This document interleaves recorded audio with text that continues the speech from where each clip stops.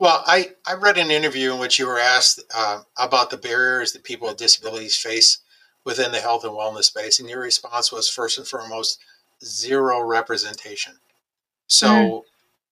you are obviously there's something in your heart, and you're doing the Don Quixote thing again by mm-hmm. doing something no one else is doing, and you're trying to tackle something that is a little different.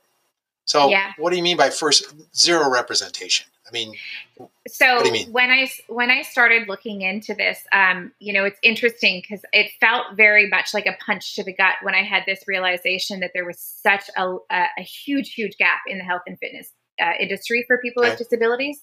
It felt like a punch to the gut for me rather than an aha moment because I I knew that I had this experience supporting people and you know if I hadn't seen that gap then no wonder other people who haven't had that same experience, um, you know, haven't seen the gap either. So, lack of representation, you know, if you think about it, first of all, there's a lack of rep- representation for people with disabilities in every single industry.